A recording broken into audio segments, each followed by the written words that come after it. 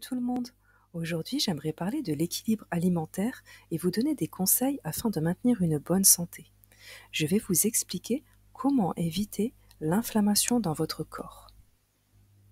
En naturopathie, les premières choses que l'on cible, ce sont l'alimentation, l'activité physique et le côté émotionnel.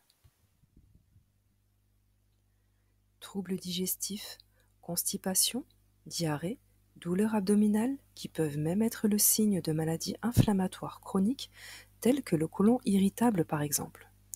Sur le long terme, on peut voir apparaître du diabète, de l'obésité, certains cancers ou même des maladies cardiovasculaires. Une mauvaise alimentation peut également avoir un impact sur l'état émotionnel de la personne. Elle favorise le stress, l'anxiété et la dépression. Le corps est bien fait. Il nous envoie des signaux d'alerte tels que la chute des cheveux, des ongles mous ou cassants, le vieillissement prématuré de la peau, un déclin cognitif, une fatigue chronique, une prise ou une perte de poids. Une mauvaise alimentation va ainsi fragiliser le système immunitaire de la personne, elle est alors plus propice à tomber malade.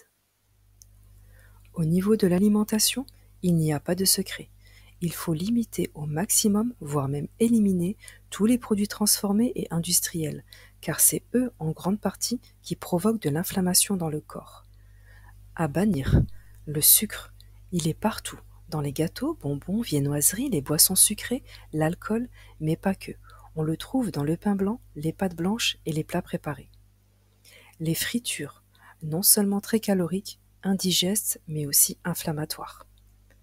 Les viandes de mauvaise qualité, notamment la viande rouge, les viandes transformées telles que les hot dogs, le cachir ou la charcuterie, sont remplies d'additifs et de colorants. Essayez de privilégier les viandes blanches, les poissons et les œufs de bonne qualité. Les produits laitiers issus de la vache sont à éviter. Préférez plutôt les fromages et laits de chèvre ou de brebis qui sont plus digestes. Faites trois repas par jour. Si vous avez besoin d'une collation, prenez un fruit ou quelques oléagineux. Évitez le grignotage, il perturbe le travail de l'estomac et la digestion. Mangez varié.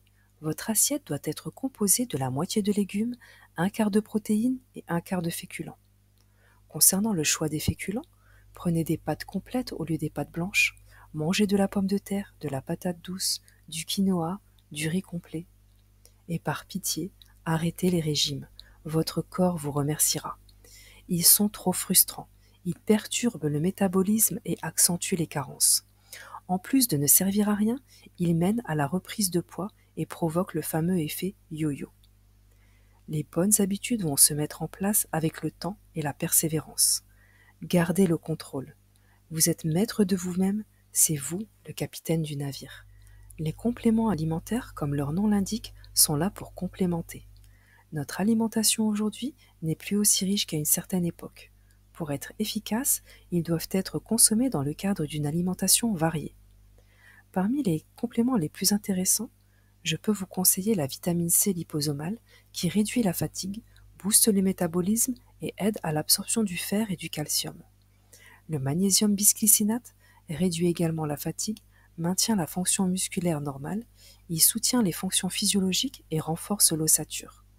Les oméga 3 aide à lutter contre la dépression et l'anxiété, efficace contre les inflammations et régule la tension artérielle. La vitamine D pour ceux qui n'ont pas beaucoup d'ensoleillement. La spiruline en prévention de l'anémie améliore la concentration et la fonction cérébrale. Une cure de trois mois est nécessaire pour être efficace.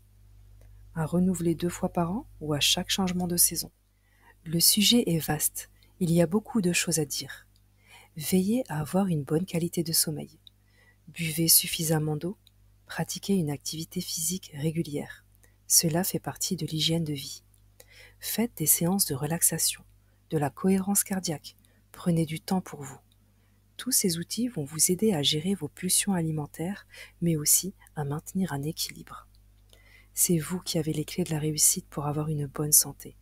Personne ne le fera à votre place. Alors, prenez soin de vous.